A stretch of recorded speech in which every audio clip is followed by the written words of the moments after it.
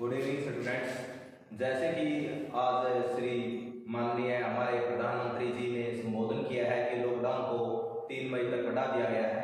इसलिए अभी स्कूल खुलने की कोई उम्मीद नहीं है तो हमारे जीपीएस परिवार ने ऑनलाइन क्लासेस स्टार्ट किए हैं। आज हम मैथमेटिक्स के जो बेसिक्स हैं, उनके बारे में पढ़ेंगे।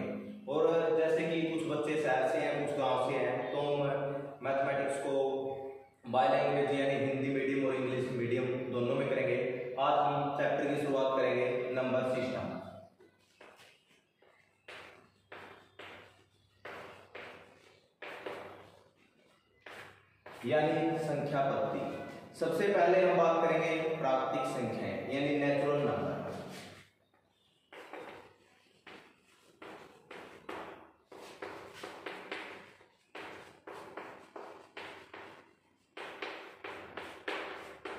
यानी नेचुरल नंबर यानी प्राकृतिक संख्याएँ कौन सी संख्या होती है? जो संख्याएँ एक, दो, तीन यानी जो संख्याएँ, एक से शुरू होती हैं, वो हमारी प्राकृतिक संख्या होती है, यानी हमारे नेचुरल नंबर होते हैं।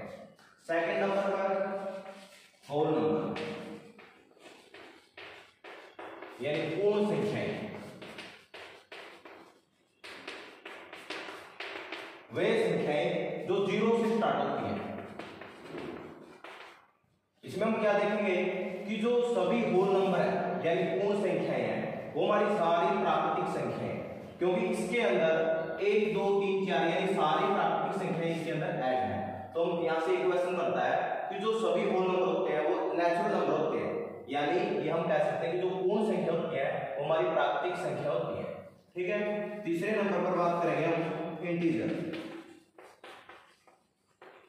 यानी पूर्णांक इसमें क्या होता है, जो हमारे फोर नंबर होते हैं, उनके भी हम नेगेटिव पार्ट लेंगे। जैसे minus three minus two minus one zero one two three so इसके अंदर एक मेन बात है, जो हमारा ज़ीरो होता है। न तो यह नेगेटिव इंटीजर होता है, न ही पॉजिटिव इंटीजर यानी जो ज़ीरो है, ना तो धनात्मक पूर्णांक है, ना ही ऋणात्मक पूर्णांक है। अब बात करते हैं हम इवन नंबर इवन नंबर का तो आप आप सभी को पता ही होगा, जो संख्याएँ दो से डिवाइड होती है। वो हमारे सारे सभी इवन नंबर होते हैं। फॉर एग्जांपल जैसे two four six eight odd number वे संख्याएँ जो दो से डिवाइड होती जैसे एक तीन पाँच, सात, नौ, सौ। अब बात करते हैं, जिसमें सभी बच्चों को लगभग कंफ्यूजन होती है। प्राइम नंबर यानी अभाज्य संख्या।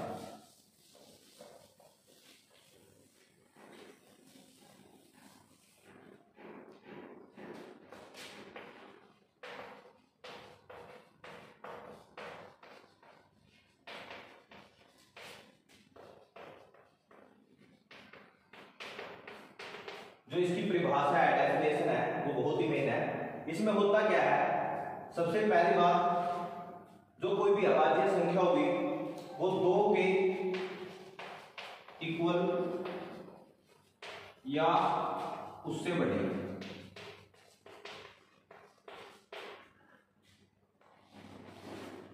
उस संख्या के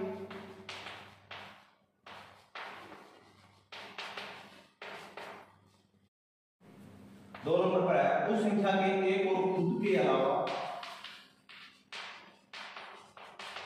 कोई और फैक्टर ना हो।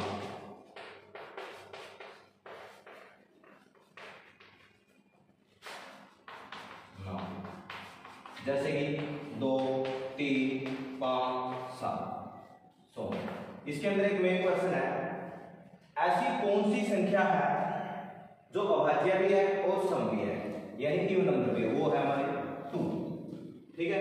अब बात करते हैं हम रैशनल और इरेशनल नंबर की। यानी प्रीमेय और अप्रीमेय संख्या।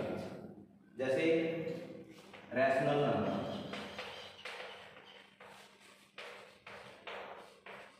परिमेय संख्या। वे संख्याएँ जिन्हें हम पी बाई क्यू की फॉर्म में लिख सकते हैं।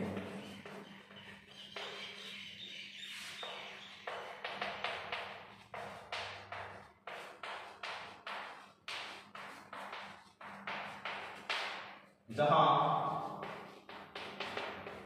पी और क्यू पूर्णांक यानी इंटीजर्स है और क्या हो? किसके इक्वल नहीं है? ज़ीरो के इसका एग्जांपल है, जैसे चार बटा तीन। इसमें चार और तीन क्या है? इंटीजर्स है यानी पूर्णांक है। और जो तीन है, वो ज़ीरो के इक्वल नहीं है। मतलब क्या वो ज़ीरो के इक्वल नहीं है? जैसे कोई भी नंबर है टू है। जैसे टू को हम कैसे लिख सकते हैं? टू बाई वन तो ये भी हमारे क्या है? रैशनल नंबर है। और क्या है? जैसे बाईस बटे सात। ये भी हमारे क्या है? रैशनल नंबर है। ठीक है? कोई कंप्लीट स्क्वायर रूट है जैसे सिक्सटीन ये भी हमारी क्या है? रैशनल नंबर क्यों? क्योंकि जो रूट सिक्सटीन है वो किसके इक्वल होता है? फोर के इक्वल फोर को ऐसे लिख सकते हैं फोर बाय वन तो ये पी की वैल्यू है और ये क्यू की वैल्यू तो पी बाय क्यू यानी ये भी क्या हमारा एक रैशनल नंबर अब बात करते हैं हम इरेशनल नंबर की। यानी एक्ट में संख्या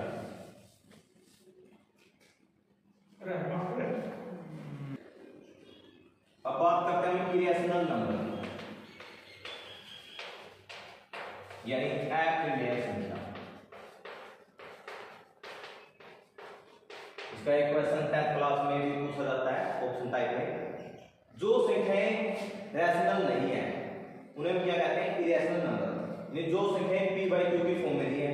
इसका एक तो सिंपल जैसे, जिन संख्याओं का कंप्लीट स्क्वायर रूट नहीं है यानी वर्गमूल नहीं है जैसे, वर्गमूल तीन, वर्गमूल पाँच, वर्गमूल सात, वर्गमूल ग्यारह। और क्या है?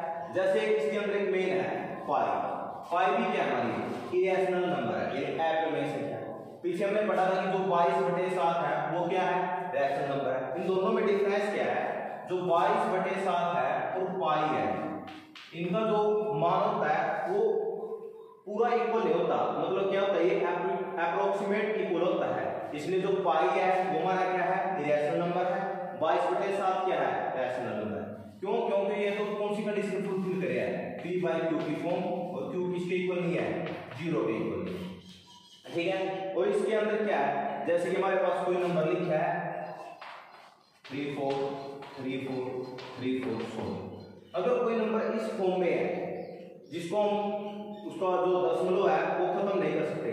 लेकिन उसके अंदर एक रेगुलर पैटर्न है। तो वो भी हमारा क्या होगा? रैशनल नंबर होगा। लेकिन अगर वह नंबर तीन, दो, पाँच छः सात, एक, तीन, दो। इस फॉर्म में है, उसके अंदर कोई एक रेगुलर पैटर्न नहीं है। तो ये नंबर क्या होगा इरेशनल नंबर होगा ठीक है?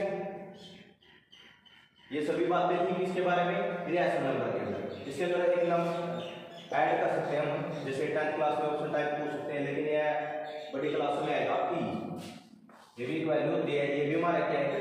इरेशनल नंबर है। ये सभी और एक बाकी रहेगा हमारा रियल नंबर रियल नंबर क्या होती है? वास्तविक संख्या जो टेंथ क्लास का पहला चैप्टर है। इसके अंदर क्या होता है? जो रैशनल भी होते हैं और इरेशनल भी होते हैं। इसके अंदर दोनों नंबर होते हैं रैशनल भी इरेशनल भी। हमें रैशनल के बारे में पता है और इरेशनल के बारे में पता है। तो हमें किसके बारे में पता चल गया? रियल नंबर्स के बारे में पता चल गया। आज हमने किसके बारे में बात किया है? नंबर सिस्टम के बारे में बात किया है, जो six seven eight nine ten सभी क्लासेज में काम आता है।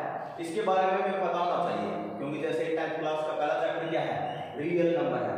उसके अंदर पूरा बेसिक है। जैसे कि इरेशनल नंबर बताइए इसमें ऑप्शन टाइप में क्वेश्चन आता है तो आज हम इसी के बारे में बात करेंगे।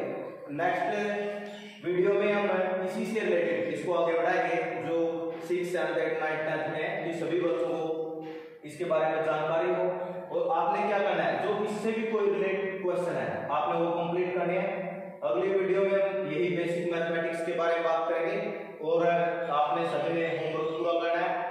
जैसे कि हमारे ये जीपीएस